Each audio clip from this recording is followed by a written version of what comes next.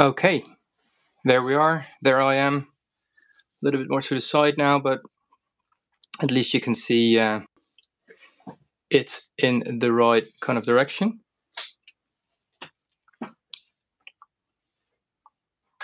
Let's see if it's going live on my screen as well.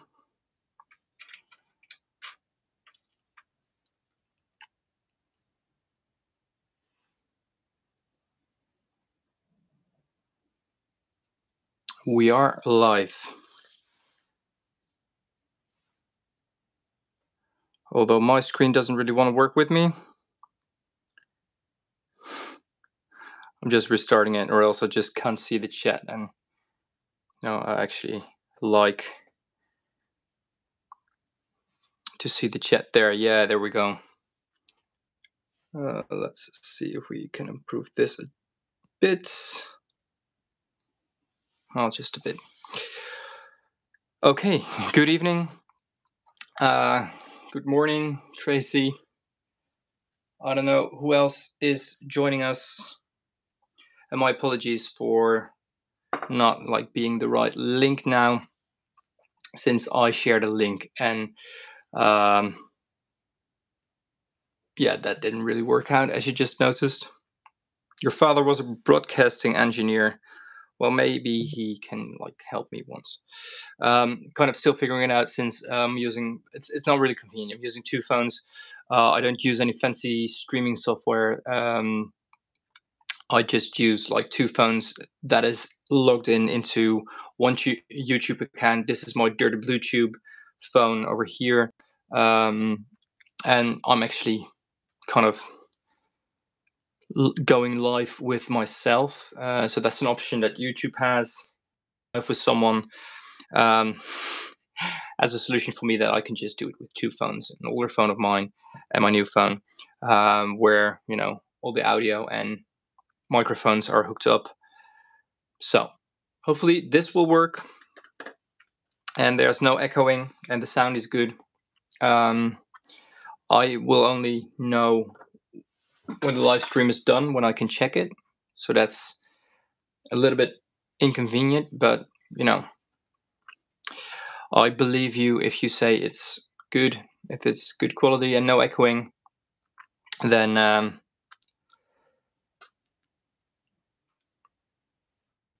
we should be fine. So I kind of changed my lighting setup uh, still, so I'm uh, also kind of still kind of figuring that out if it needs to be brighter or not if i need to be if i need to have a little bit more fill light from that side i can do that or if this needs to be a little less bright. Um, i have a new microphone which just came in from Rode microphones um, that maybe hopefully improves the sound of my voice as well. So let's check that out.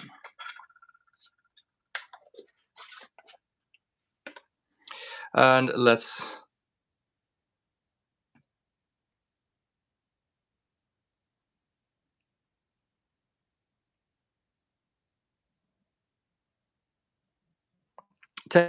That's good to hear. Uh, last time I checked my own live back, I can only look it back at 720.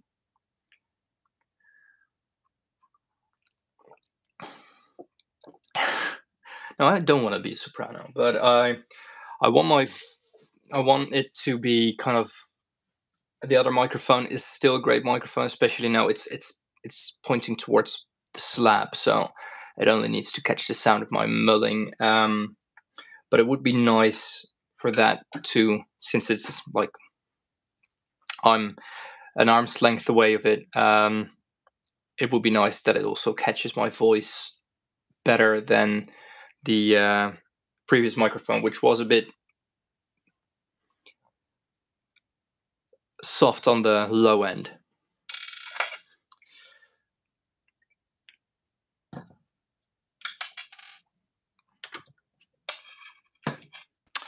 So let's start with the actual business. Let's start making paint.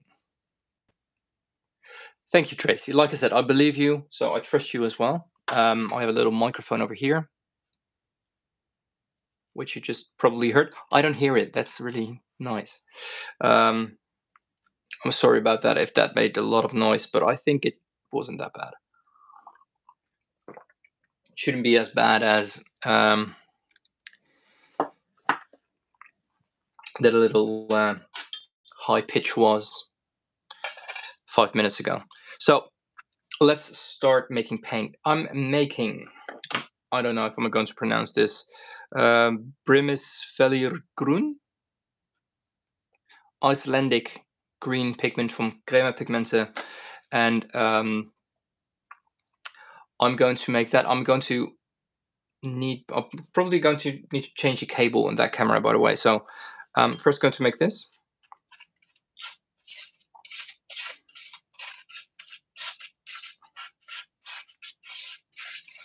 So let me know how this is sound.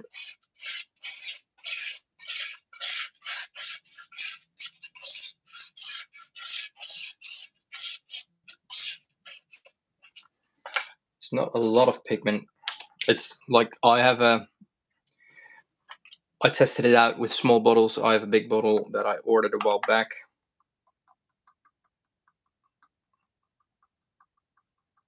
Not a toxic pigment, but I don't want to inhale it, so. Oh, we can make two scoops of that. That's just two scoops.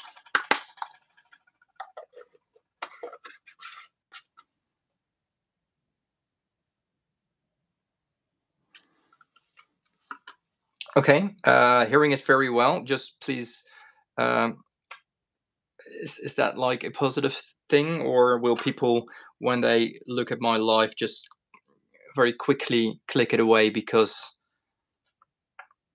you know, you know, I'm adding something that looks like honey to something that looks like earth, which it is. Um, so it might be a small niche that I'm working for, but will they click it away before they find out what it is because of the, the sound?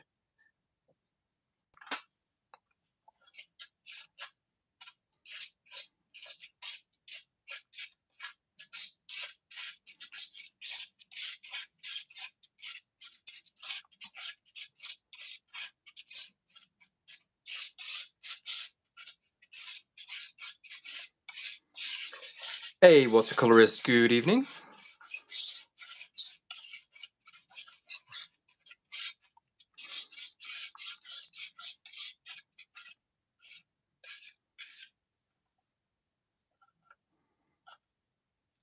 It is quite a, um,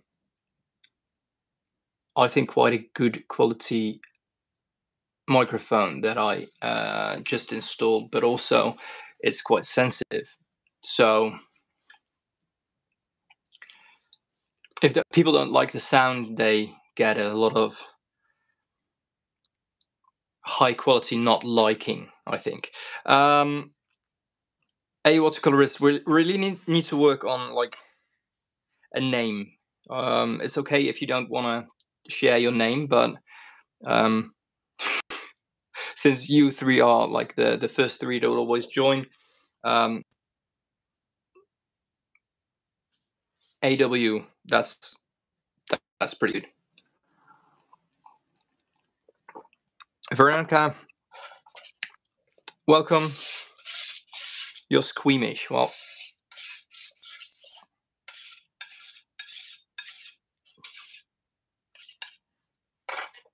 then let's take this.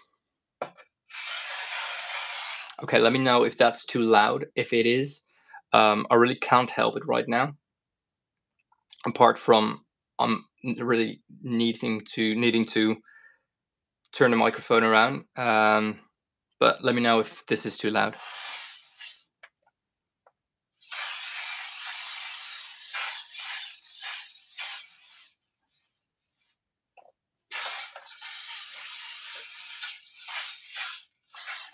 Right, so I will talk as well, and I might need even move up my microphone a little bit.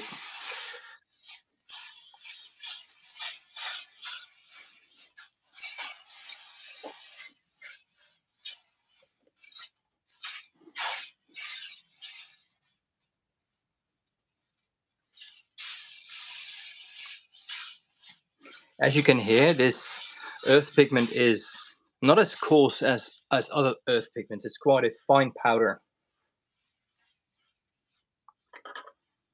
I don't know if it says how fine they made it. No.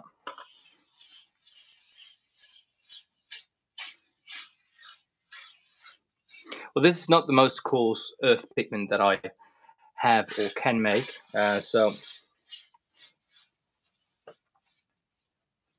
it could be more stretchy.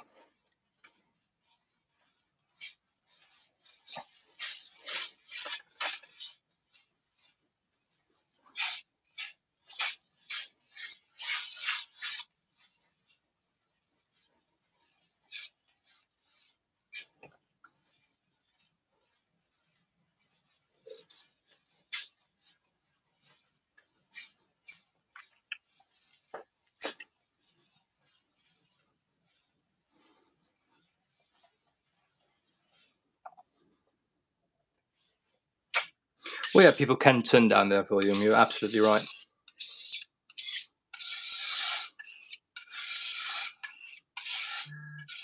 In some cases, I'm like, I need to get rid of that noise over there. In some cases, I'm really, uh, it's really inconvenient that I can't turn down the volume of this. But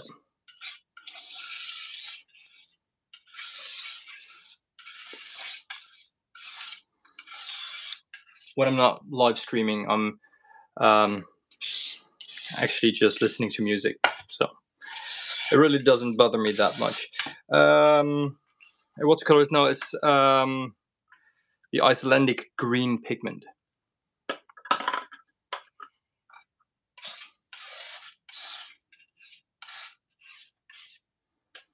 And I needed to top off a few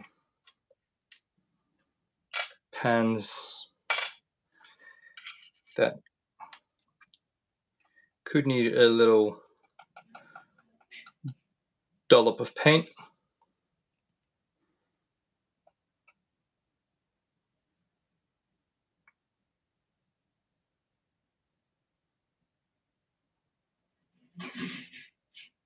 If you heard that sound, that's, that were my neighbors closing their blinds or I don't know how you call that in English. That's good to hear, Veronica. Thank you very much. It is quite a difference with what I started with, to be honest. Looking at like my very first life, um, I think I was just using one microphone. I think um, like the microphone that really didn't do well for my voice, as well as my voice combined with the um, with the mulling that really didn't help either. And no, for the more technical people, I'm I'm a bit of a nerd when it comes to that, but um, it's not like I know a lot about this stuff. Um, but I tried to, you know, combine all my knowledge from photography from my from when I was uh, on the Art Academy uh, when it came to lighting and trying to mount everything and trying to you know make everything fit on my desk here I'm still not happy. Like there's still improvements that can be done.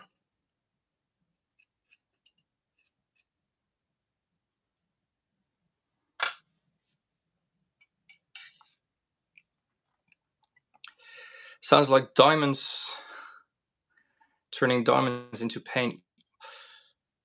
Wait until you hear Azurite. That's a scratchy pigment. Um, if no one chooses that during this, I have a lot of Azurite, by the way. I'm not going to make that. Um, check out my video on YouTube. It's uh, the Azurite video. I have one of it. Um, it's it's quite a coarse, really a coarse pigment, so I really need to um, mold the pigment, as in grinding it, grinding it finer on my plate, and uh, after that, molding it and um, dispersing it into the binder. So it's really um, it's a fun pigment to make. Art Academy. Stacy, Tracy, Stacy. Wow, Tracy. My apologies. It's the Art Academy, uh, not the Space Academy. But yeah, I went to the Art Academy. Uh, 2007 ish, I think, a long time ago.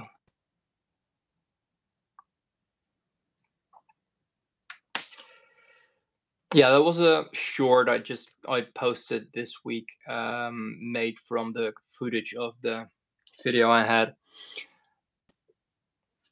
Um, are you talking to a watercolorist? Now it's getting personal.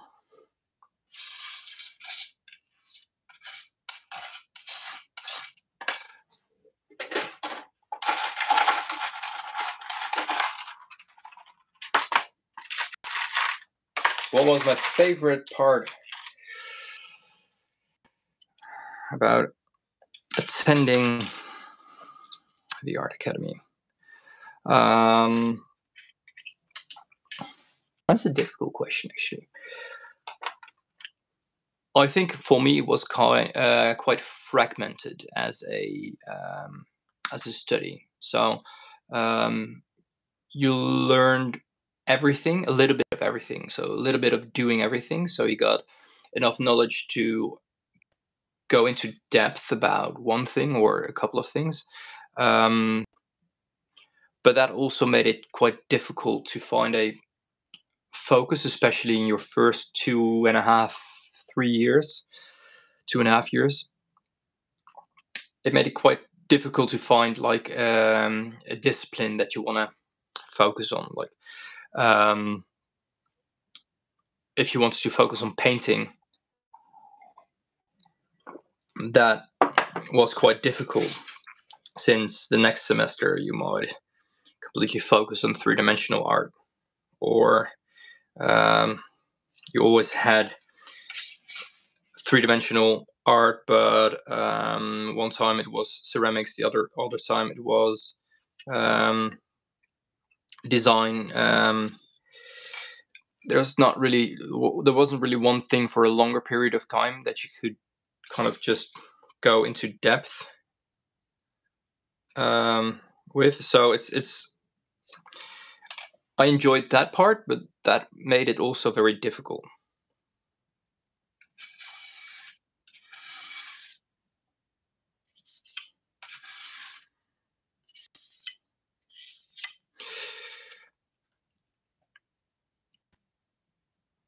Yeah, it's like the university degrees. It's it's it's, it's kind of the this. The,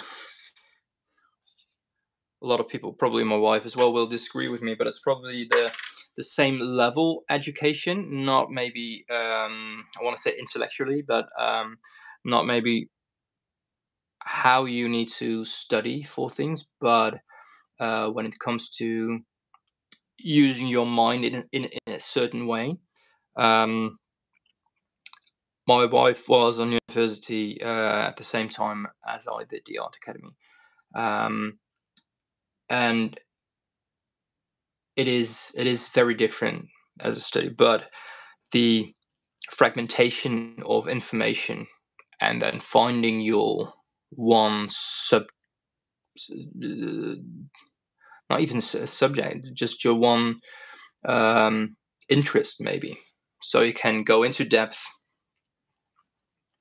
Um, that was that was quite difficult since there were also a lot of things that you didn't like. So um, there were also things that you thought you didn't like, but eventually liked. So that was a positive thing.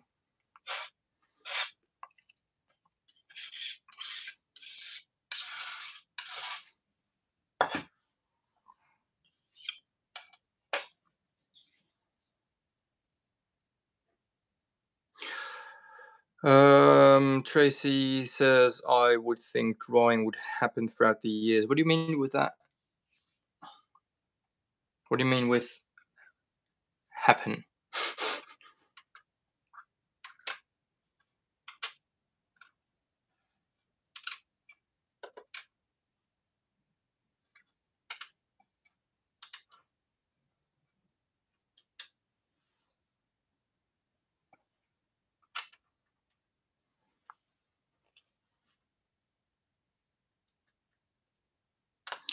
Uh, was curious why? Um, why do you say art academy is not like university? Well, thinking, you know, book wise, it's it's really different. Um,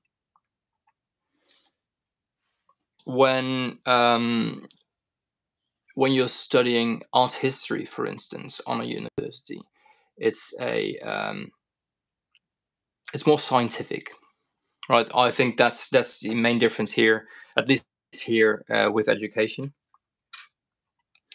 Um, it's all scientifically based, and Art Academy isn't. right. So that's that's that's quite a main difference.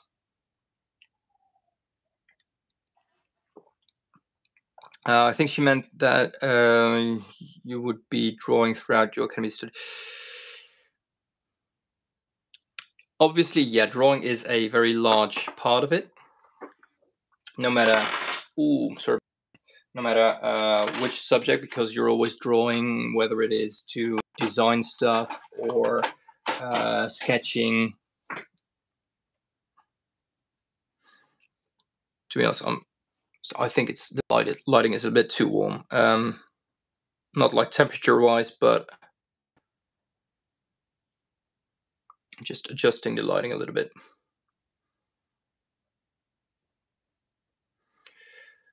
Mm-hmm. Uh, basic understanding of drawing is the base of most. Yeah, yeah. It's I think it's not even drawing. I think it's looking, observing, uh, and appreciating everything that is around you. Um, so, um, being able to draw that and find your own style in it, your own way of documenting whatever you are observing is is a part throughout the entire study and after that as well. Um, still now I'm I'm like making paint. It's not. I used to this studio used to be um, my studio for like drawing, even um, making sculptures a bit.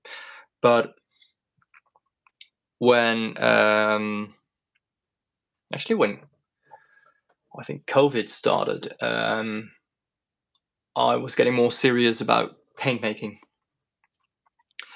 and um, I just stored all my stuff. And now I have a studio that's fully paint maker based. um, it's really actually hard to find any drawing material except for things that I have for my for my girls. Um, other than that, it's a pencil and paper for my sketches, a sketchbook. Um, anything else that I'm drawing? It's designing stuff mostly. I think labels.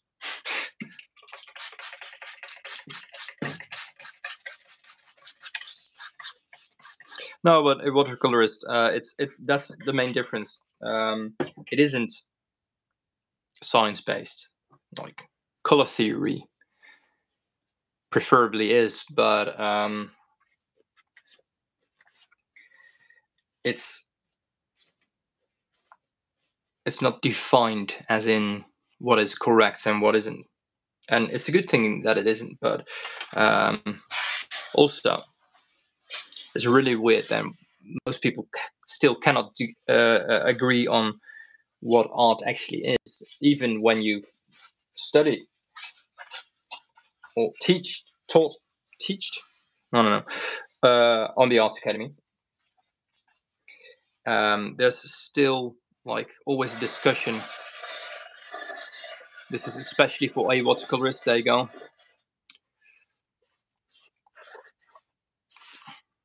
I think glass blowing, sculpture, texture arts, and I'm sorry, I need to look on that screen since there they disappear.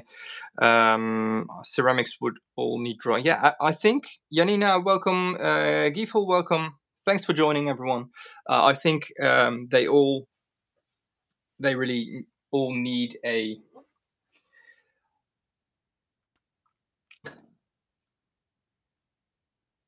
a process. Um, but I'm not sure that drawing is necessary, though, like fully necessary. It could be something else, I think. Taking taking pictures, for instance. Um, no, it's it's not even that part isn't defined as that is necessary. Um, work with ceramics. When we're talking practical, yes, a design might be useful. When we're talking about sculpture, it might be useful as well, but you can also let the kind of clay guide you, same as some painters do. Okay, so um, back to this. This all happened because someone asked me, I think it was Veronica,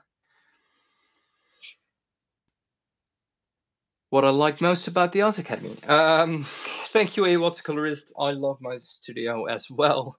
Uh, thank you, Veronica. And um,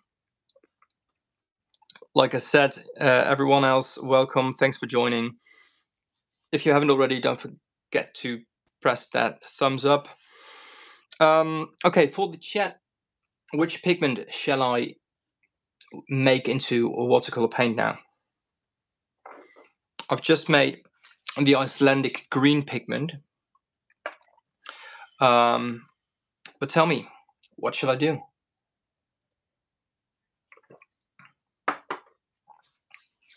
I'm really bothered that this camera, this is like, this is here, it's moving now. This camera, it makes a shadow when I'm looking, it, it gives me a shadow because of the lighting. So I need to change that as well. So, um, please tell me if you don't know anything about pigments or if you don't know which pigments uh, there are here in my studio. Just name it. If you know pigments, name it. If you don't know, um, smalt or manganese blue. Hmm. Do you have any of the following? PY 157 and I think you just named the two I don't have. That's kind of getting personal now, but I'm going to check it.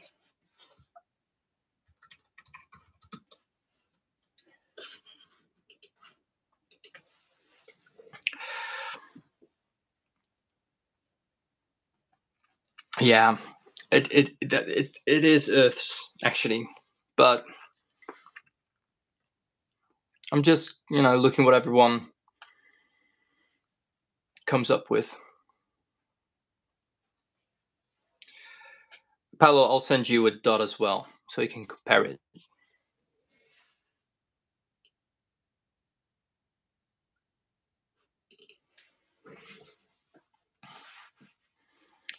An interesting PBR6. That is a very mysterious and vague, an interesting one.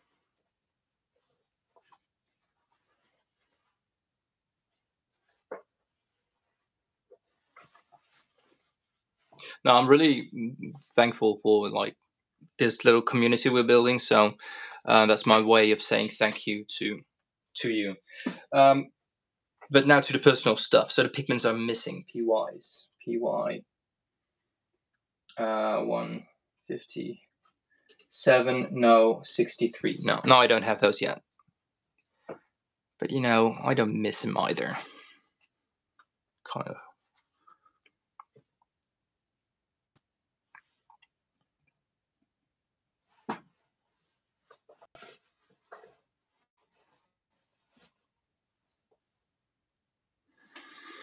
Okay, I'm missing a lot here. Um, what's happening?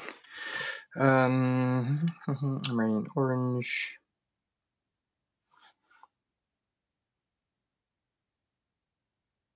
Hill, hello. Celadonite.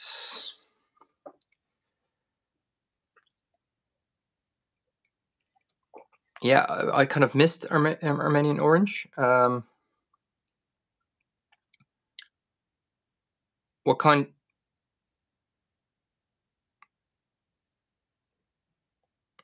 Is it like a specific one?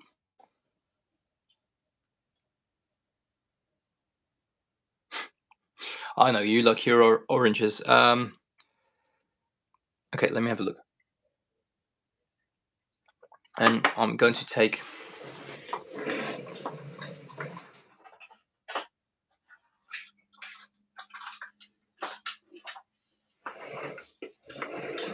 cable first. Sorry, it might get noisy.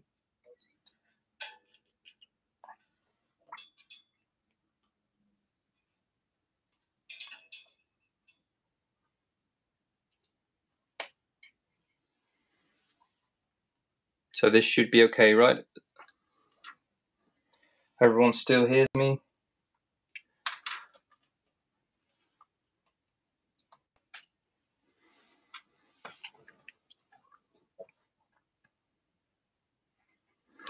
It is a typecase, actually, or at least um, that's what I would call it in English.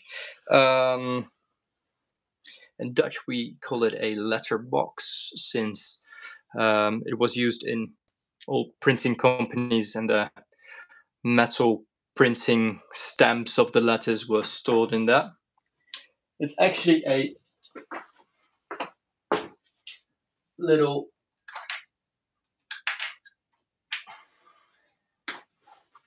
collection with, well, let me just show it like this with pigments. So I started um, showcasing all the pigments I have, making little labels of it, make my own small pigment collection there. But I actually have more pigments than little spaces in that thing, so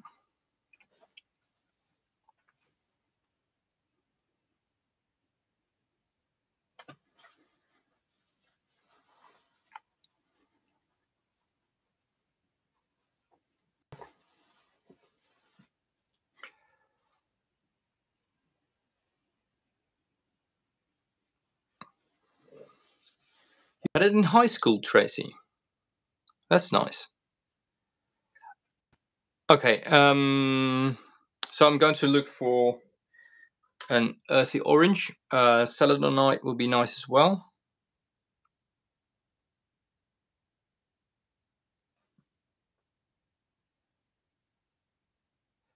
Thank you, Hill. Is it Hill or is is that the right pronunciation? Pronunciation. It's a little bit late for me. I'm sorry. Okay, so um, this should be also working. Me looking for pigments and you still hearing me. So let's have a look what we have. Um, I have a limonite here.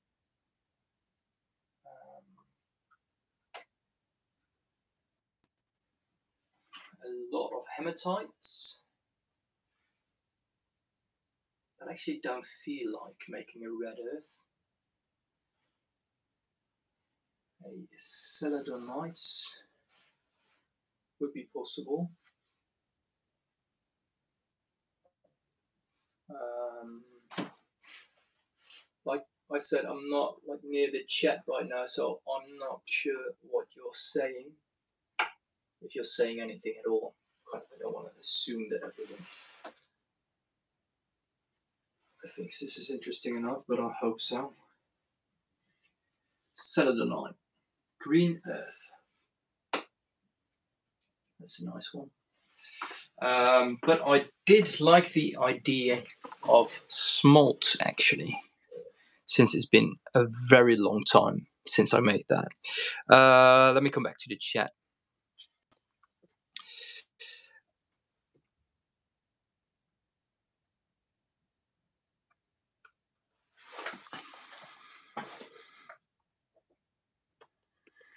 Mm, mm, mm. Armenian Armenian Mummy Red Light is a semi-transparent red ochre with a orange. Yeah, I have that one as well. Mm, at least something that's called that.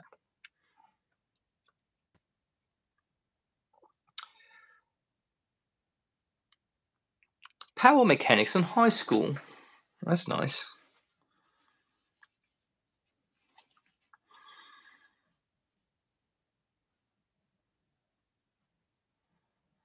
There's two Armenian paint makers that don't promote others.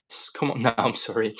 Um, I, I'm going to look it up actually because it's it's interesting if they make like paint from local pigments. Um, yeah, I, I, I just took celadonite, but I might start with smalt. I'm not sure. I'm not sure. Maybe kind of to tease a watercolorist since that's quite noisy to make.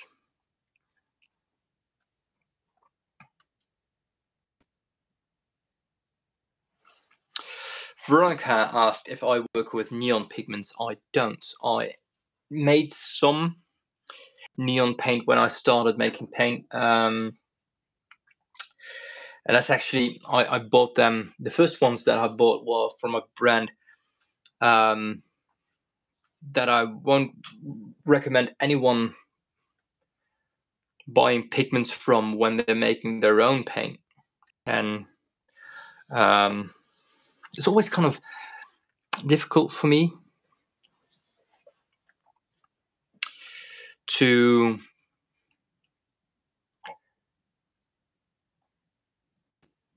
kind of say that um, since I don't want to talk bad about a certain brand, but and thanks, hell, that that's better. Um, let me just say it like this don't use pigments that say they only need water to be made into a paint since that means it's a dried binder in there and that won't uh, play nice with your own binder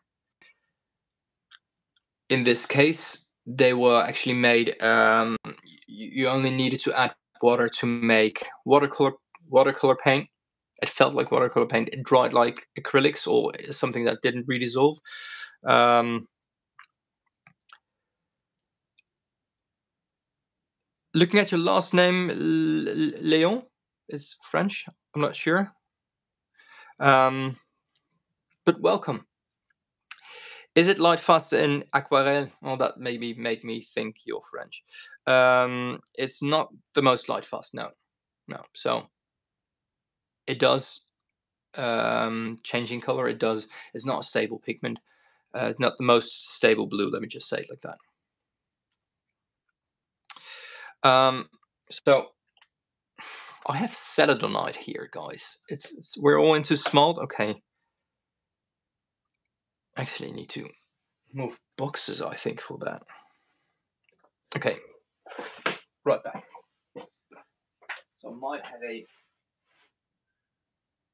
smalt. I have a smalt over here, and that is good. It's a Kremer smalt. It's the standard version of Kremer, but I actually have antique smalts as well.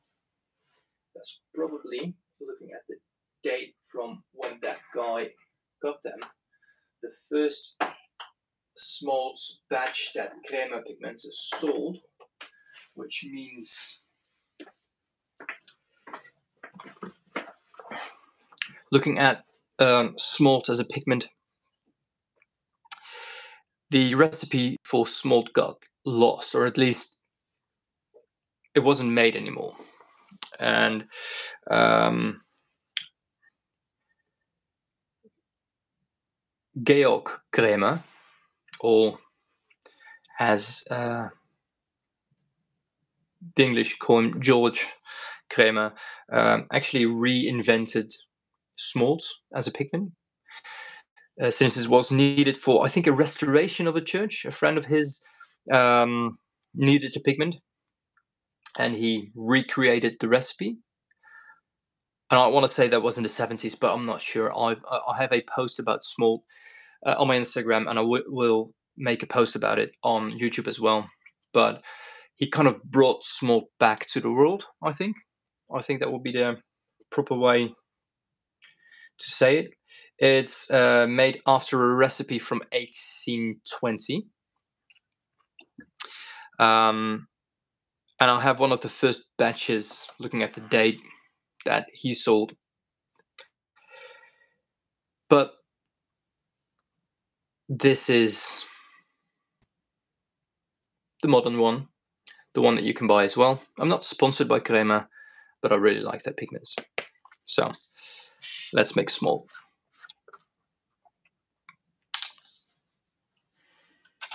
Not going to make too much of it though, since I don't think I have pens for it printed.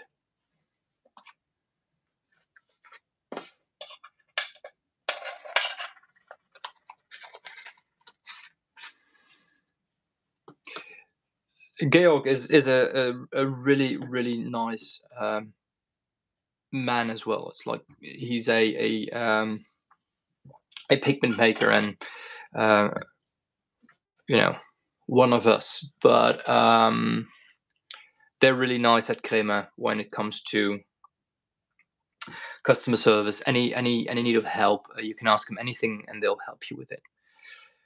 Um, let me have a look.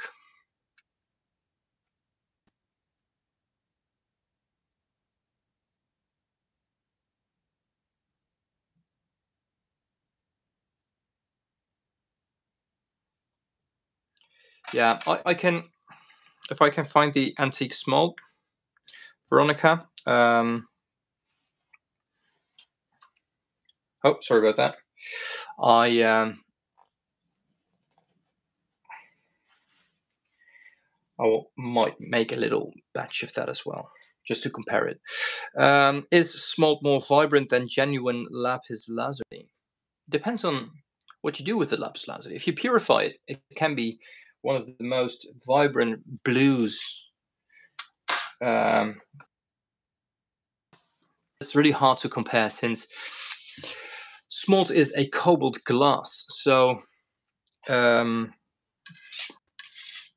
it really doesn't have anything to do with a mineral or ultramarine. If I'm making it like this, please chat then. What does it remind you of more? I have one pigment in mind that really reminds me of when I'm making it like this, and this is scratchy. Um, this is not even like practical. I'm just doing this to tease a watercolorist. Sorry about that.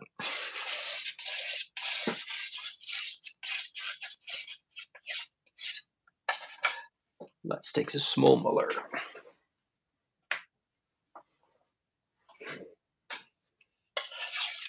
Not that this makes more noise, but this really, isn't necessary for this. So now we are making a real noise. Hopefully you can still hear me.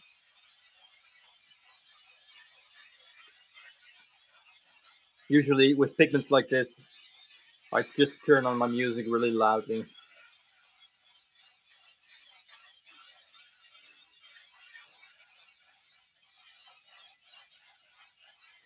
nice thing of like hearing this very clearly is also hearing that it slowly disappears, slowly gets less, so you know you're doing well.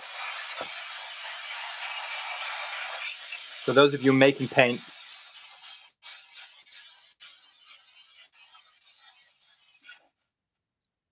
thanks for lowering the volume. I didn't lower it. Did it do it automatically?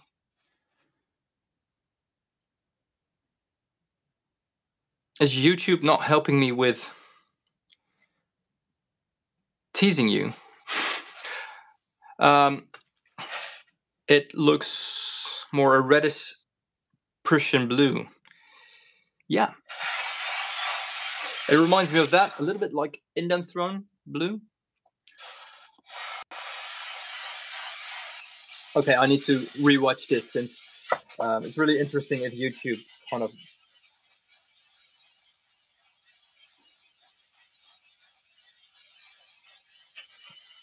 adjust the sound a bit. So that will be that will be weird. Still, I think the temperature is too. I'm sorry about this. Like I'm looking like uh, I'm wearing a white T-shirt, and this is like bright white. So I think that I think I know for sure the temperature is too warm.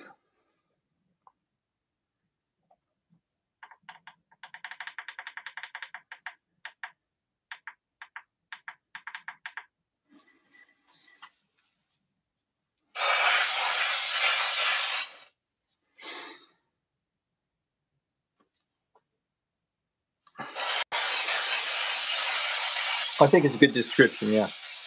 So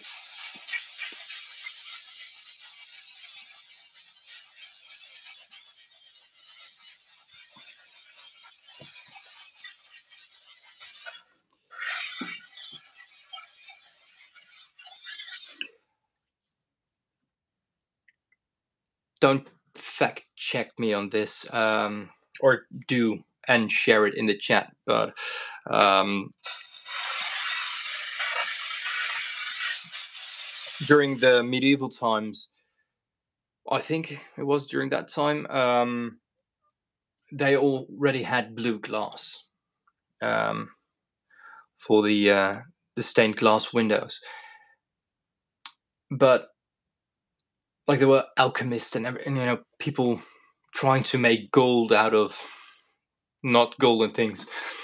That never worked but a lot of pigments and colors got discovered during that time um, just people throwing stuff together and seeing what happens when you heat them up and it was only after they've used like certain chemical compounds to just that they threw together uh, to make a uh, glass window blue.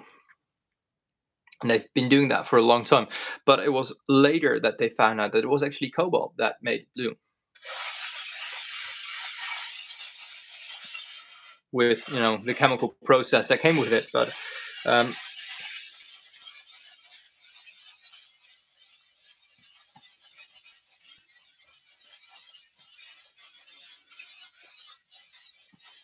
And smalt is actually quite clever pigment since it's just it's colored glass which was ground up to be a pigment to make a paint out of it.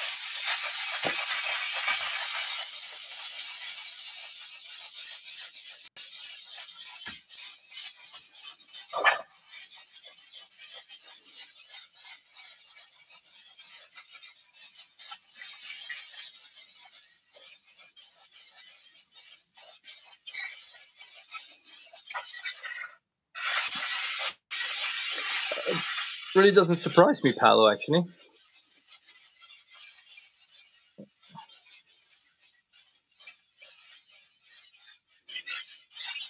But when was the first time they was used? I, I, I think I kind of assume you're looking into smalt, or was that based on like knowledge? Is that tiny Muller comfortable? Well, this one actually is since it has like a little little knob on the end. Um, I have one that really isn't as this one uh, or isn't you know when you're making paint like this holding it holding it like this then this is fine but this is more like I, I'm holding a pencil when I do it like this um, but keeping it like this, this really your hand, it slips away. I like this better. Although I do like the bottom of this better, since this one is too rounded off for my taste, whereas this one has less of that. So it's all about personal preference though.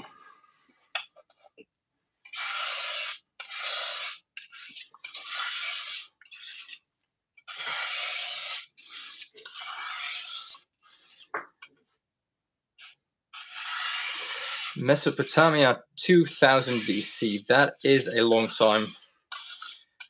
And I'm quite sure they didn't know it was cobalt that made it, or the chemical reaction of cobalt that did that back then.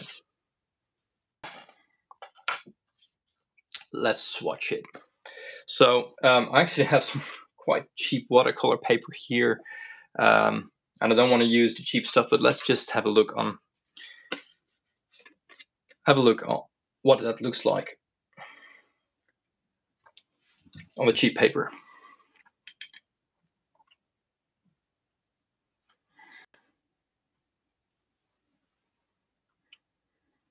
Yeah, there's stained glass that is as blue as like ultramarine blue now as a pure pigment.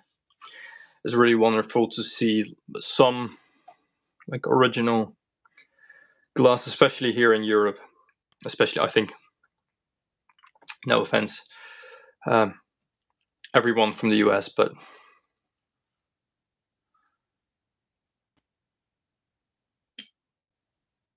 it, was just uh, as out of curiosity, uh, was stained glass used in early churches in the US? Does anyone know that?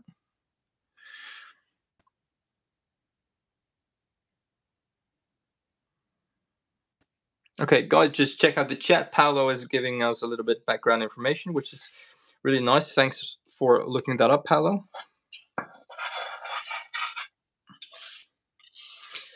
And while you're all reading into that, I'm swatching. Let's have a look. Where is... I want to do it a little bit more on the left, but that wasn't even on camera, so... Yeah, but I, I really like this. Um, to have like someone uh, looking into and sharing uh, the things while we're here in the chat.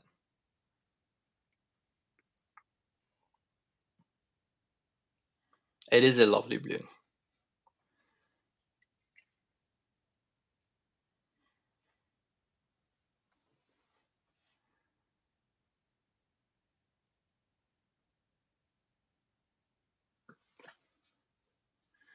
Let's see if we can get something of a little bit more of a mass tone.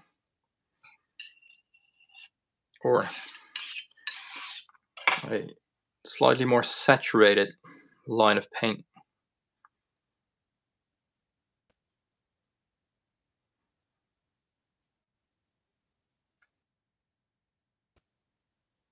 There we go.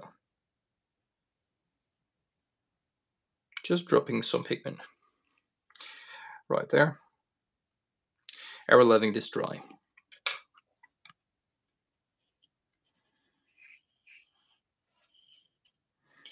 Just going to let this dry. I think out of sight. No, it's not out of sight. You can still see it.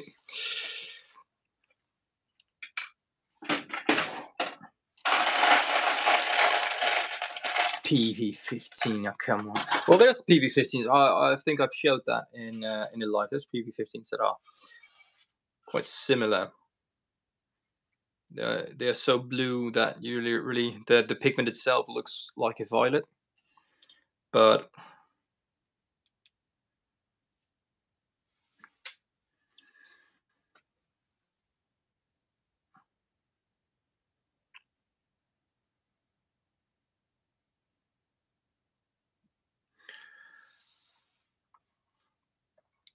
Oh yeah, sorry, I missed the PV14. Um,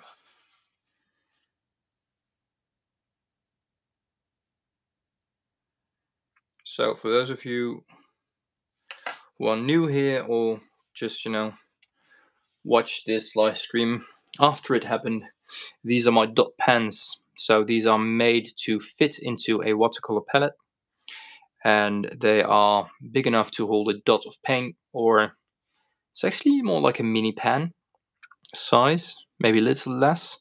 Uh, although I had a customer of mine on Etsy um, whose pan got like it broke. I, I can do it like this. It broke off. It's actually quite hard to. Okay, I don't know what the meal did, but I can't break it. Anyway, um, I had a customer of mine with one side that broke off, which was quite unfortunate. And it might have been a misprint.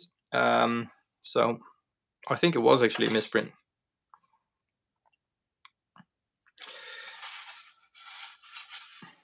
That's, always a shame to find out.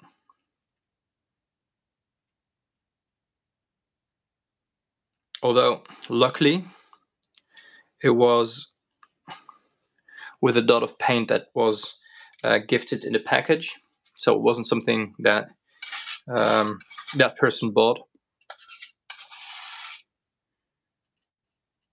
But these are my dot pens. They fit into any watercolor palette as you know a sample of a pigment or a paint that you might be interested in.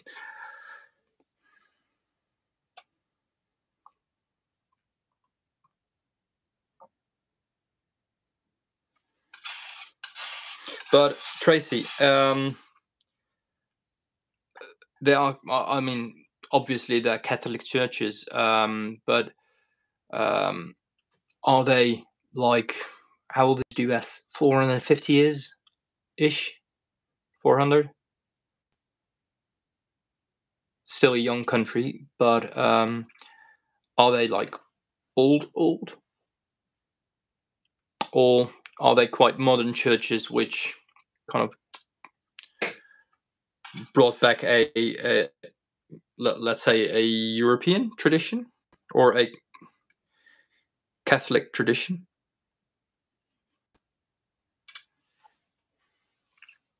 Do I have smalt in my shop? No, but if you're interested, uh, just send me a message on Etsy and I can make a custom order. If you're interested in a dot that I'm making right now,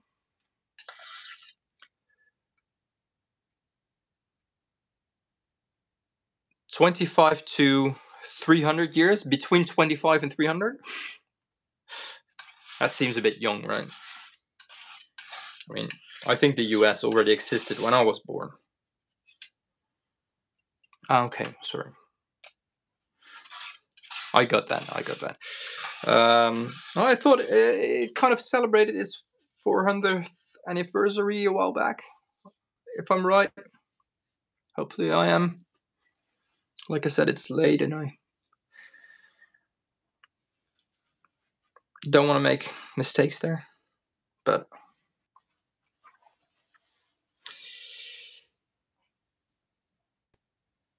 yeah, but that's Texas.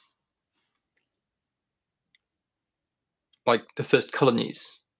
When when when did that happen? And I'm not getting into the colonies and the history and what the Europeans did back there, but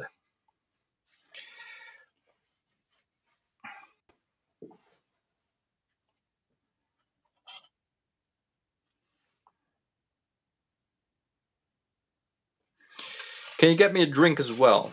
A watercolorist. Or AW.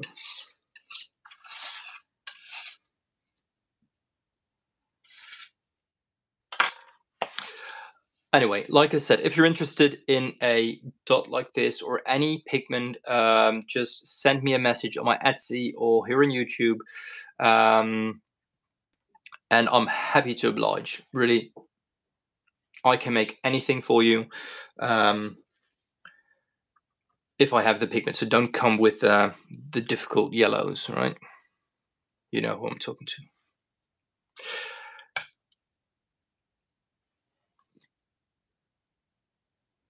Yeah, you're a young country. Absolutely.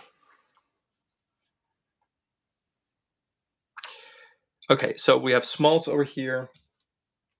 This little swatch is drawing nicely.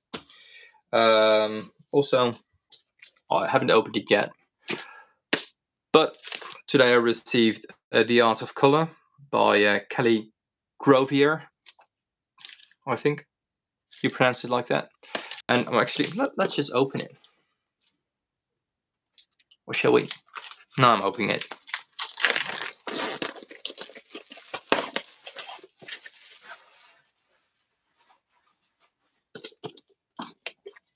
So this is um, let me just show you. The History of Art in 39 Pigments. This is a good book for us. Right, so uh, like I said, I really need to look into it, and I'm going to read this. I'm actually, I'm absolutely. Oh, there's an orange. Let me just do this for you, Paolo. Orange. Starting with orpiments. Beautiful. I have that. Going to saffron as a pigment. I have that in my kitchen. Chrome orange.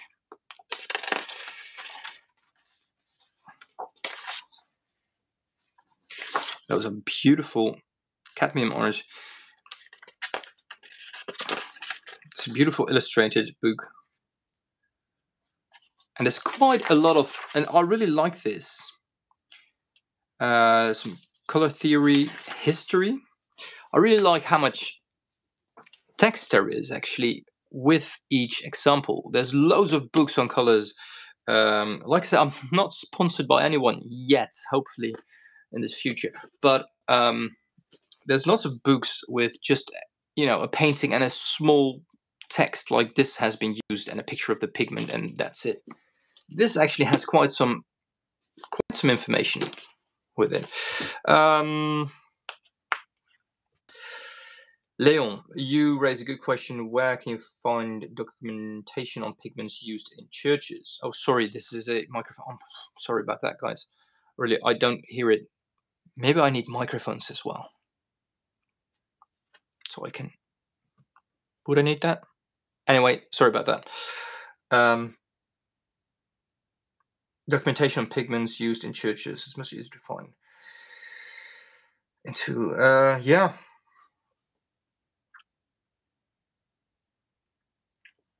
That's actually a good one. Um, sorry, I'll just.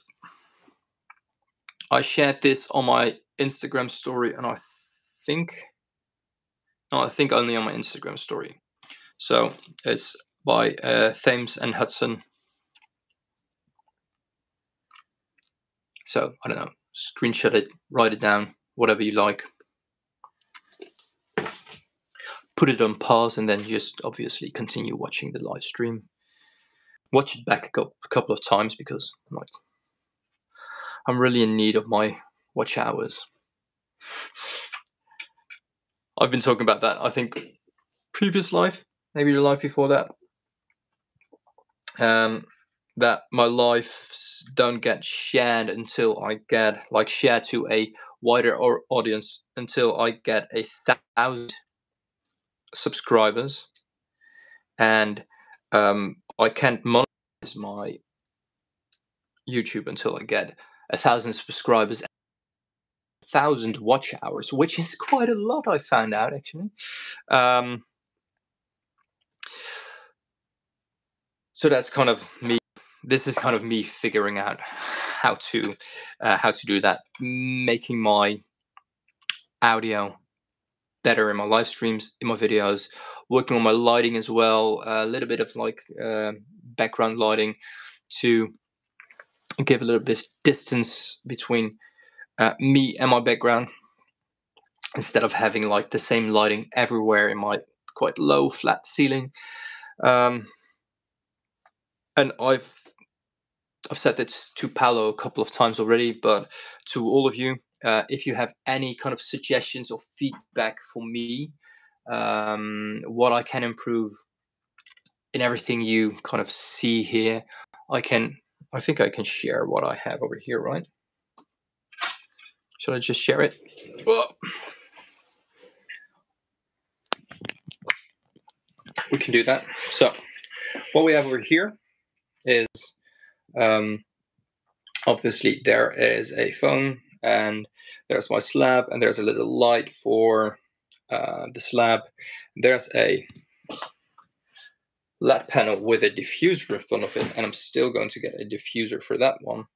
Um, so this is this is it right now. and Everything is like mounted. There's a light over there uh, to make like this blue, and that's like orange, and that's blue, and that's that's everything.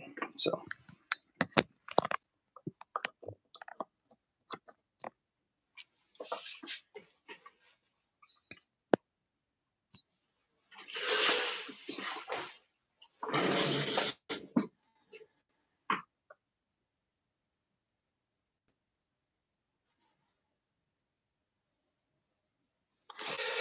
There's quite there's quite some information just to kind of get back to the chat. There is um, quite a lot of information about pellets that have been used in certain uh, areas of time. So um, just Google a certain uh, period from art history and then pigments used, for instance. Um, Janina, good night. It's quite late here, isn't it?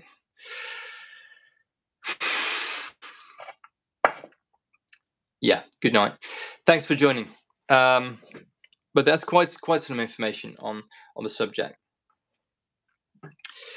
So I see there's some more people um, still, or again here in the chat. Uh, if you haven't done it already, please hit the like button if you are enjoying the live stream. If you aren't, please share any feedback with me um, because I can really use it. Like I said, my entire setup, but also um, anything else here. Like I said, I'm making paint, but also it's like talking about paint.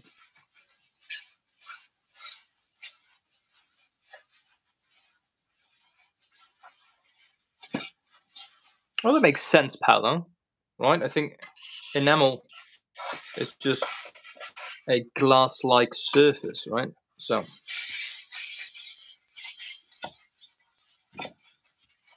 kind of makes sense.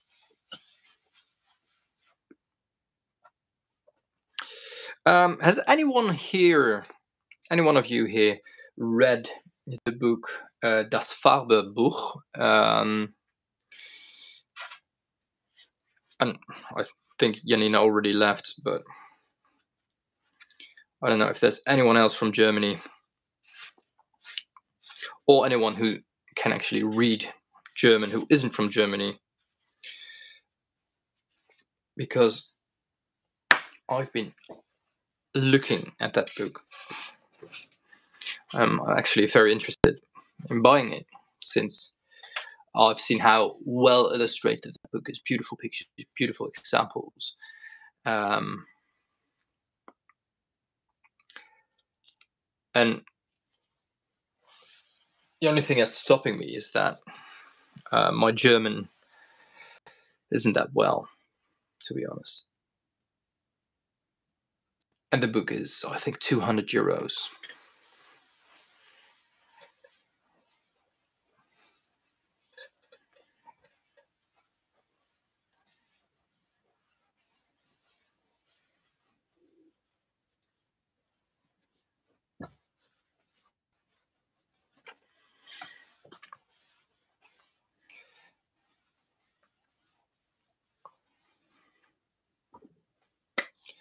Okay, everyone's back. Paolo's back. Watercolorist is back. Um, thanks, Veronica. Yeah, no, I don't want to. I don't want to beg for it um, at all. But I don't have enough time to make enough content to get there in a quick time. So it's. Uh, I I shared that a while back. I think it's it's it's quite hard that and it, I didn't expect it to be that hard. But really, thanks for joining. I uh, hope you like it. Most lives I make a little bit more paint and I'm working a little bit more with pigments, but now I'm a little bit more interactive since most time uh, lives you only just see the slab of my hands and you won't see me. And um, uh, yeah, I, I thought this was a little bit more personal to talk with you um, and you know chat. So thanks for joining. Uh, yes, das Farbebuch. That's the exact right way how you spell it. Um, it's a beautiful, beautiful big. I think it's quite a big book. Um, that book will be released in Europe on the 27th with Twitch Book. Kremer already kind of it's it's sold out on Amazon and Kremer sells it. So, or is it because it was sold out at a lot of places? Maybe it's going to be Oh, sorry, we're talking about.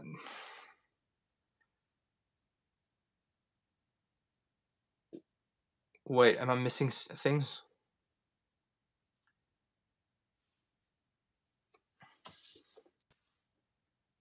This one will be released the 27th, but it's I'm I'm in Europe.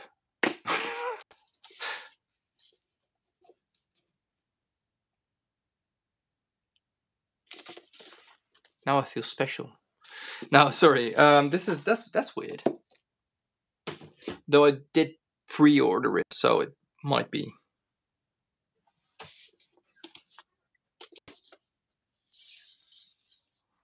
I'm not teasing you, Paolo. Not at all. the smell of a new book.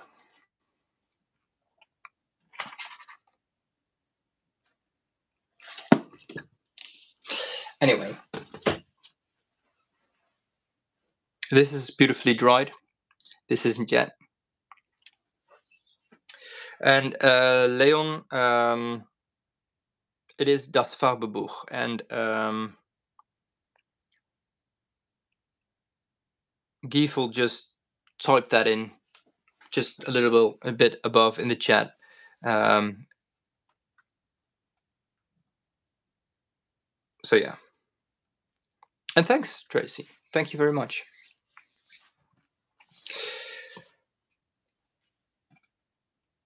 Celadonite. So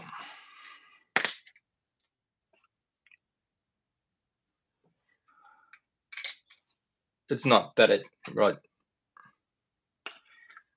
matters that I just opened a new bottle, bottle but who's the author of Das Farbebuch? Um,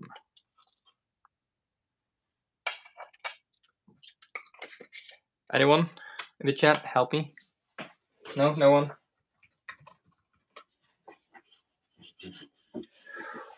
Uh, let's have a look.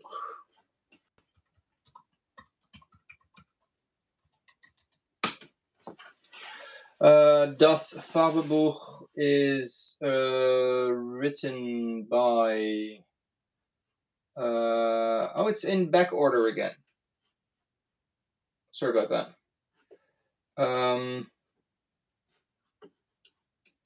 in the summer of 2023, it's 200 euros.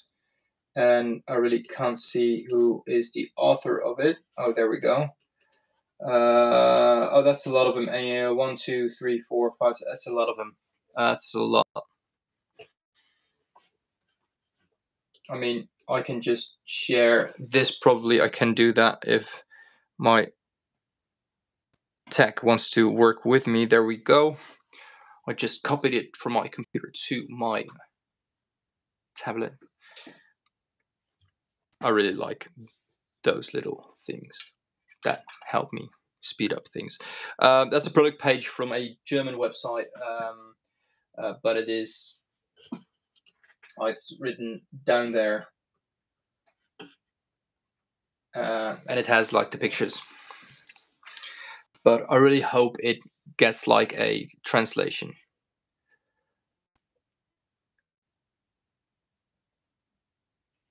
That is interesting, Tracy. Really, Colibri pigments, they are Russian actually.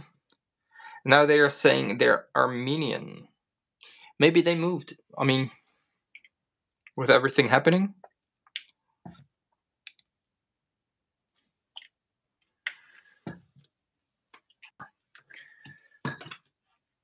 I mean, I've, I've spoken with with them.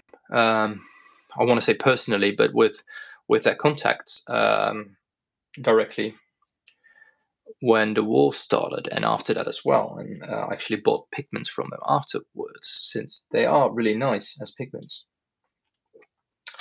Um,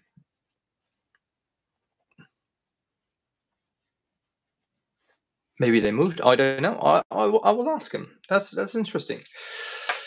There are chemical formulas in the book. Yes, yes. It's uh, like yeah. Well, you, are looking at it. It's a really nice looking book with yes, a what's called color samples. Um, so it's it's really I think the the cover says like a lot. Those little kind of piles of pigments that speak to us people.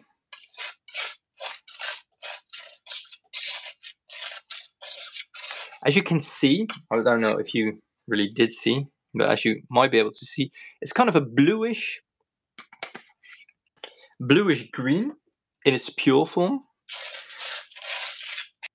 But when I go over it with my palette knife, you can kind of see it transforming on the slab. When I go over it with my palette knife, it turns into a chromite kind of looking green.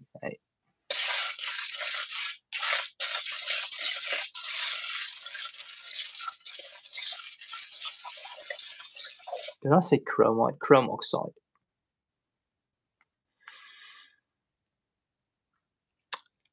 Um, since the war uh, is no trading or banking with Russia, I think they found a way, like to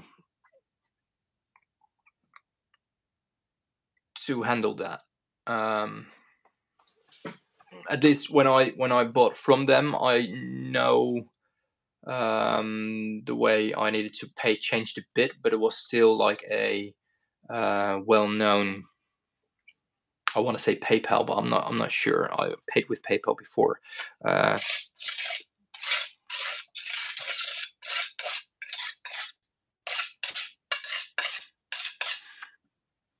let me take the big Muller again. Okay, so this might get noisy, but we just learned that YouTube interferes with me making noise. And I really want to get rid of this and the shadow that it gives because it's really it's really annoying. Okay. Let's get started. Now this is not glass, this is earth. Just one more thing for everyone joining, and hopefully um, people that will rewatch as well. A really interesting thing about Green Earth is what it looks like in its pure form, and this is a very like obvious sound when you know what it looks like in its pure form. Let me get a little piece of it.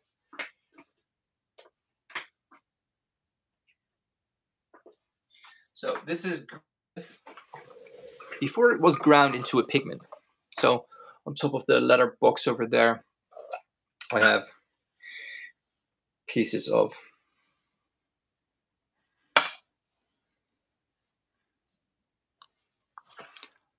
raw pigment. And this is almost dark gray, blackish maybe a slight green hint to it, and a lot of dirt. That is green earth in its pure form. This is actually Bohemian green earth, so it's quite a um, a vivid, almost pastel, but a vivid, soft green earth. Um, but in its pure form, it looks like this. Celadonite isn't exactly the same. Um, but when we're talking about green earth and we're talking about the minerals um, that make it green, now it's really it's not it's not it's not a mineral. It's like almost um, dried up mud. When you when you pinch it, it just falls apart into little pieces that sound like this.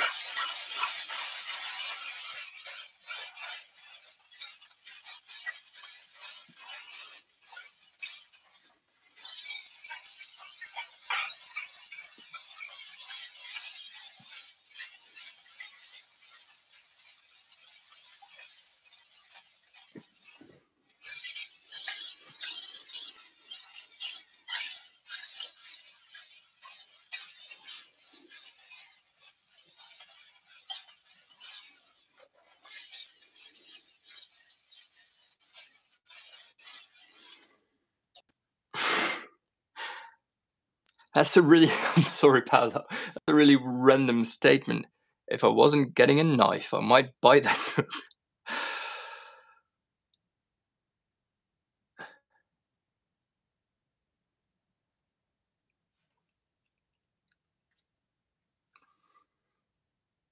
so you're buying a knife.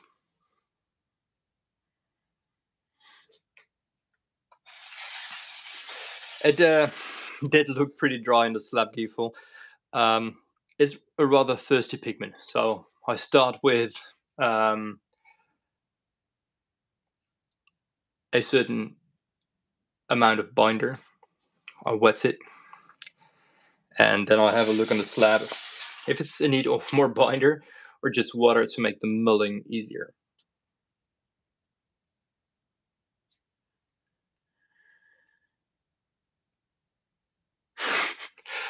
Nothing wrong with a nice knife, I think. Are we talking kitchen knife or hunting or what are we talking about? Just out of curiosity.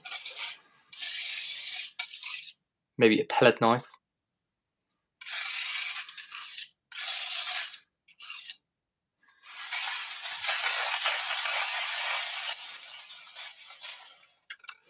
Uh, Hill, I wonder if you need hearing protection long term to do this craftsmanship. Well, actually, if I would, I would get a a notification on my watch that it is too loud and it is not saying anything. So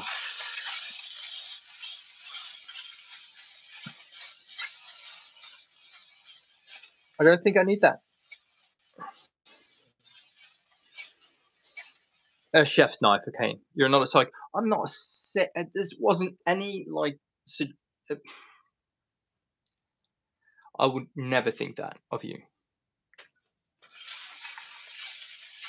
But yeah, kitchen knives or chef's knives, they are very expensive. So as you can see, just to go back to the paint, since we are making paint and chatting, as the title says, I don't need to forget the first part. No, we are actually making paint.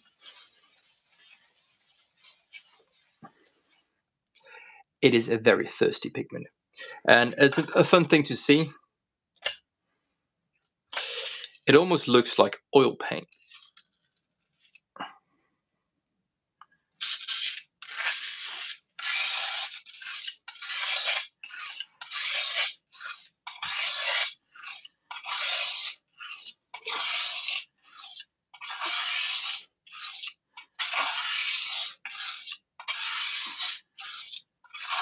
Mean, you could literally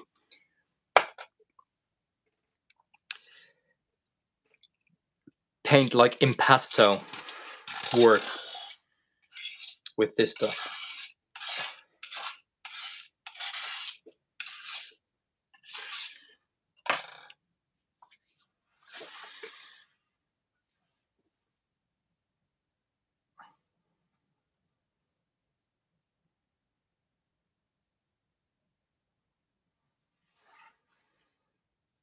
Let me have a look if I have one of those notifications still open somewhere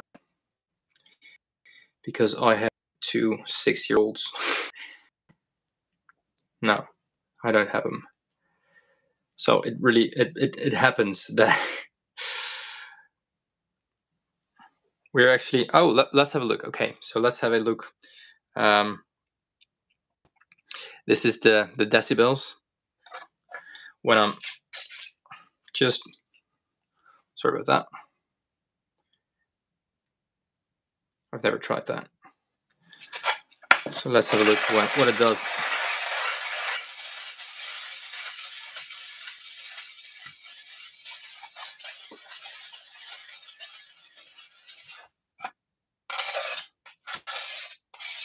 No. So it gives a warning at 90 decibels that if you stay in that environment for longer than 30 minutes, it can cause permanent hearing damage. That's what it says. But we're below that.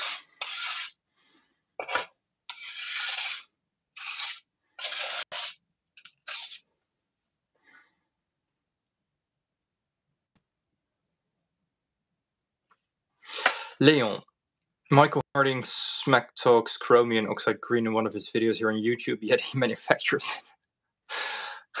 That's weird. Um,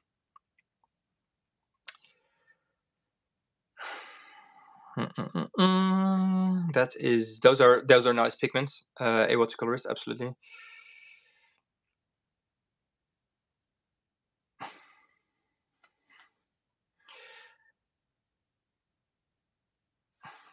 And uh, Tracy, it, it is it is not the most easy paint to mull, but do notice, and I think this is now I think I know this is the last one, but notice what happens when I just add a little bit of water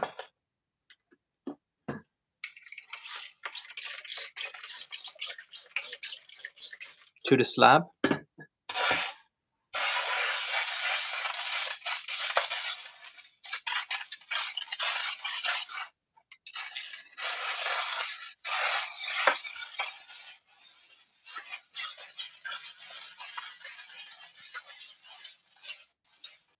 If you watch, see me like looking really angry down on the slab, it's because I am like it's getting personal with this pigment. But no, I'm using a lot of force, down force on the slab to crush the pigment as much as possible.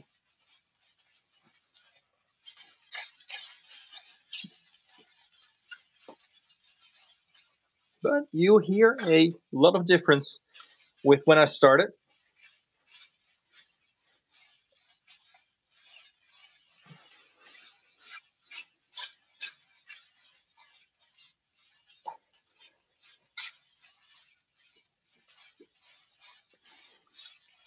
and I'm using a lot of downforce, like I need to take a breath, kind of thing. Um, it takes a lot of uh, force with some pigments to efficiently mull, or even practically mull enough. So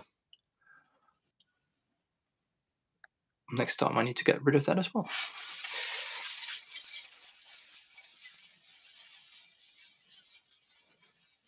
But guys, this is not chromium oxide. I know you'll, it really looks like it a lot actually.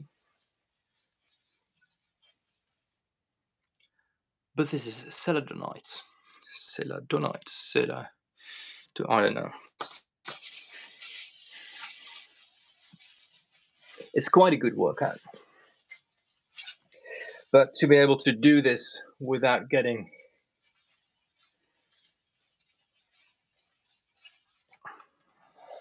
tired or um, straining a muscle or anything.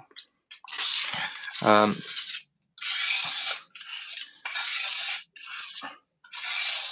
I'm working out, like real working out in the gym next to it as well.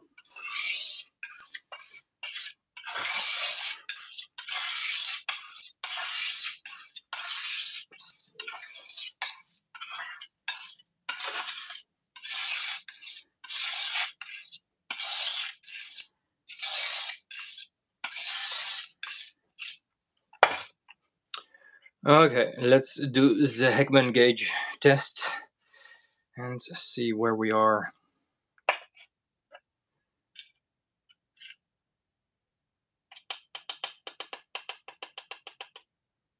Is, it's getting so sticky and thick again already.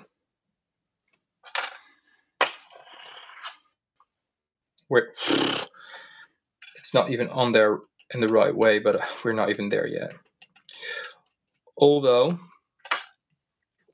it is a very transparent pigment as well. So no, we're not there yet.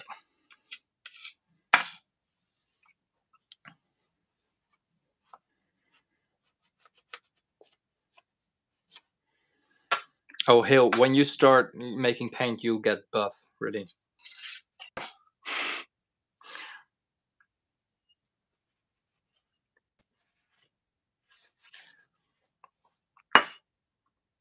Sorry for the sound.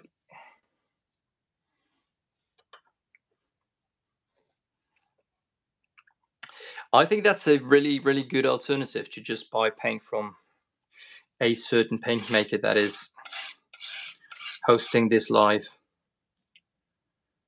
That narrows it down, I think.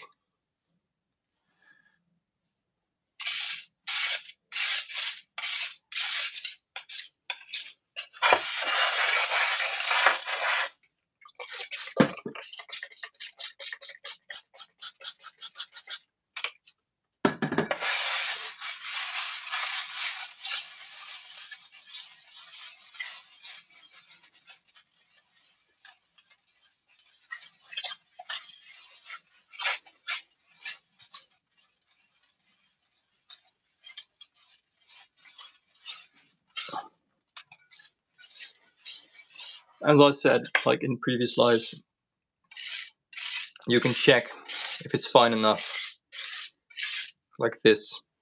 If you look at those lines and see how gradually, gradually it goes from opaque to transparent, yeah, where you can just see the paint or the slab. Um, can we just get rid of that thing? No, that's too low. Well, anyway, um,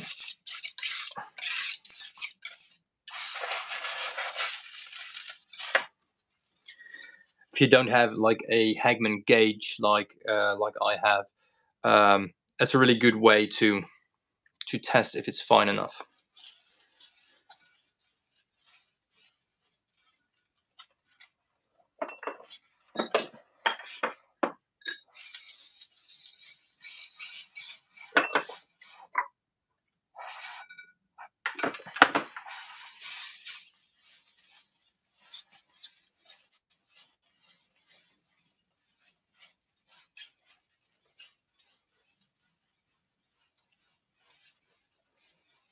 So water does a lot. It makes the movement more easy. Also, the control that you have over how fine you're working. So water is very important in watercolors. That sounds weird. That sounds kind of obvious though.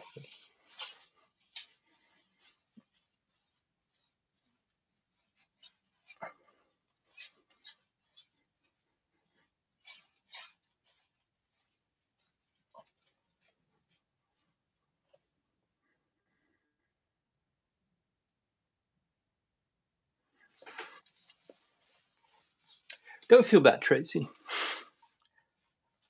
I know when I'm taking when I'm taking a green earth um, and making it into paint, it's never like an easy thing. If we were making chromite or chrome oxide green, PG7, and it's actually it is good now. So you can see here, and let's swatch it as well. So if I were to make chrome oxide green, that's just easy. But the more you mull it, the more it turns into a real green earth paint.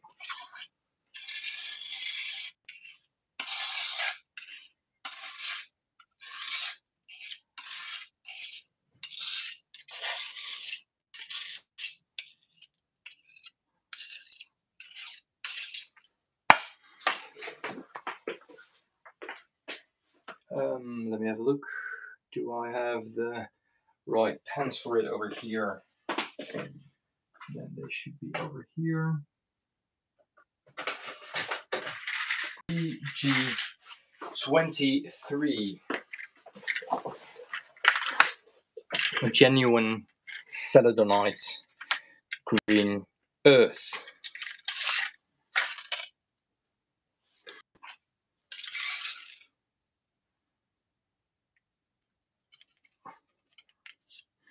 if I can get anything into the pen.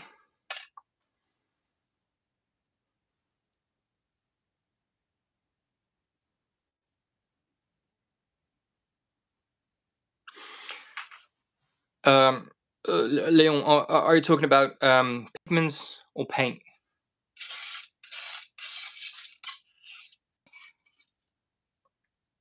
Just I know like they can be interchangeable, but I really can't see how I could do that with my pigments.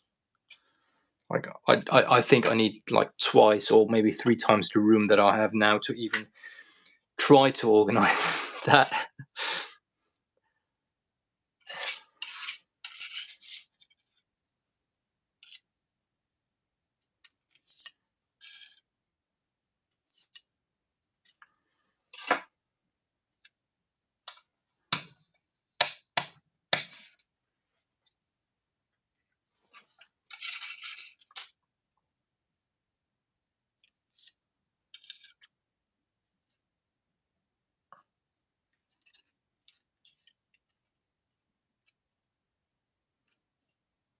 it really needs like small layers.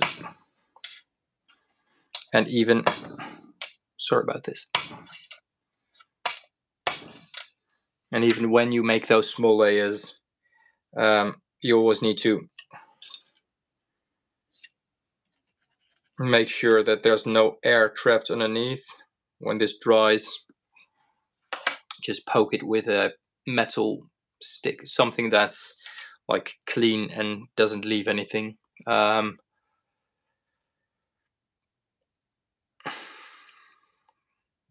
okay, yeah, paint. Now then I can kind of imagine like uh, sorting paint versus pigments. Um, it's more doable. Still respect because that is commitment.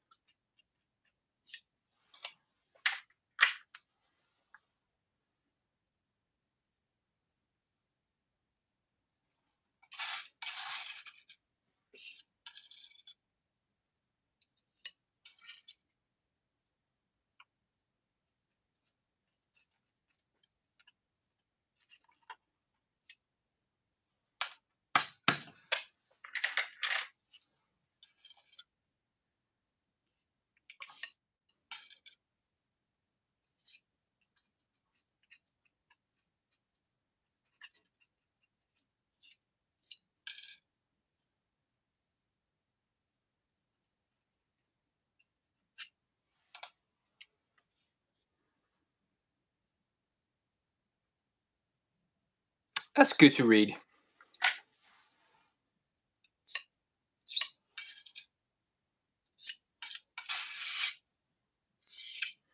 That's not. It is true. It's like uh, whether it is someone kind of looking things up, or we have a discussion about something, or um, you know, uh, things like this. It really is true. But that, like I said, I'm really thankful for like this small community that we're building here. Um, and hopefully we can get more people to join us since uh, there's a lot of stuff uh, I, I mean I'm, I'm to be honest, I'm I'm a business. Like I'm a person sitting here talking to you, uh, being thankful for other people, um, and and socializing with them. But as a business, as a, as a brand that tries to uh, not only be kind of a paint maker, but also a content creator on YouTube, um, it really has it, it is advantages when you can um, monetize your YouTube channel. Um, like I can I can post my products on YouTube. I can um, uh, there's a lot, there's, there's a lot of stuff, but anything um, anyway. Even if as like we us people uh, stay this size and I won't grow as a channel, uh, I won't quit because I really uh, appreciate the socializing part and the interaction between all of you as well.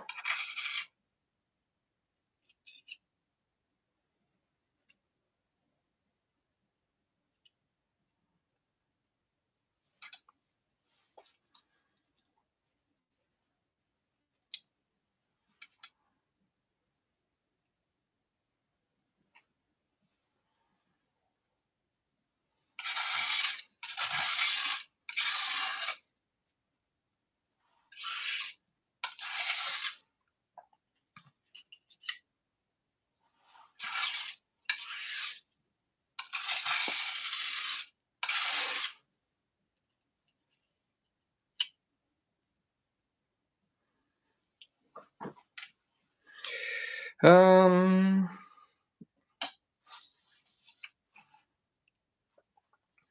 okay, it's it might be a weird question, uh, but would, would anyone kind of be interested in, you know, instead of me being live here, joining myself here, would anyone be interested in in joining the live here to kind of interact with each other, the chat? I don't know it's just a thought that I had, like maybe. I mean, it's like my channel, but um,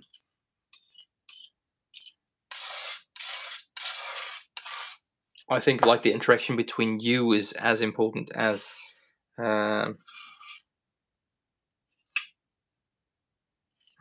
well, as important. I'm just part of your in, your conversation. I'm just visible. That's the only thing, difference.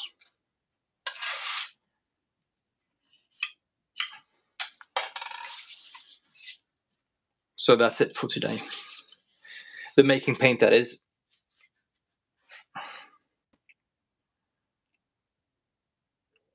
Thanks, Tracy. That really means a lot to me.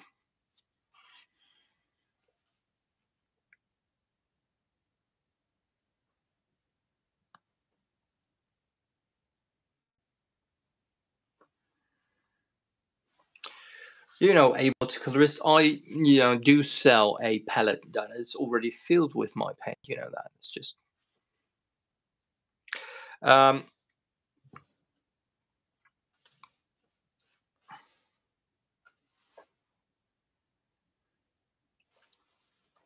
thanks everyone. I really, really, really, really, really means a lot to me, um, and I really enjoy this as well. Um, although I could be more efficient in work making paint if I don't chat along.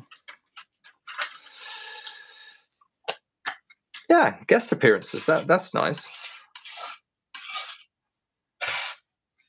Um, let me have a. Let me just do it like this. And I think we have enough paint on the palette knife for a swatch, right?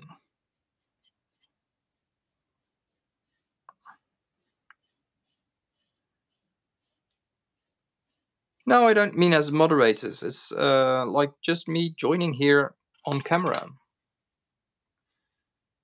Being like visibly joining us.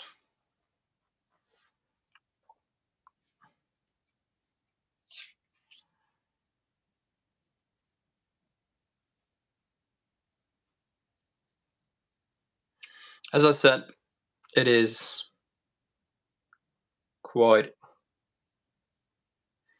a transparent pigment.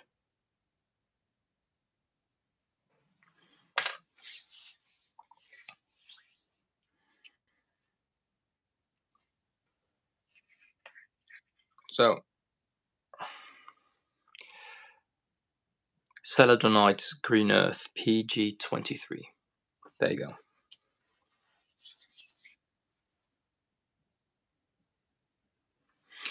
and it's you know it's fine if you're too shy you you don't like you know being it's it's kind it's kind of a threshold uh it was for me as well like i made my all my videos just filming my slab and my hands and not even like arms, but just my hands and milling and things like that. Um, but you know, doing this, I think it's important if I'm using my voice that you can actually see who's who's speaking. Um, if you're good friends with artists makers, then you can invite them to share. Yeah, uh, I might have something interesting to reveal, but that's later because it's not certain yet. But it is kind of around that topic. Um, I'm going offline, guys. I'm going to call it a night. It is 11 p.m. here. Um, it will be interesting to have Georg Kremer or David, his son. Um, uh, so, people from Kremer Pigmente, just write that down. I will contact you soon. Um, that will be very interesting. I know of a few more that will be interesting like that. So we can make it a series. No, it's not a podcast. I want this interaction to happen, not just people passively watching and listening. I want I want interaction because that's what I really appreciate about you guys. Everyone, uh, have a great day. Have a great night. Um, and uh, again, like if you liked it, thumbs up. If you don't follow me yet, follow me. If you want to share anything that I posted on my channel, be my guest. Hopefully, see you soon. Um, I'm going to really have a look at this camera here um, because it annoys me. Other things, don't fidget on the microphone. Lighting is good now here the shadow is still coming from that thing. So this this is this is one thing I really need to change. Uh, if there's anything else you need to change, please send me a message or comment um, just down in the comments below when I post this live. A free printers. Interested, Tracy? Huh, something to think about. Anyway, guys, have a great day. See you next time hopefully. And in the meantime, be careful, take good care of each other. I'm not getting sentimental here. See you next time, guys.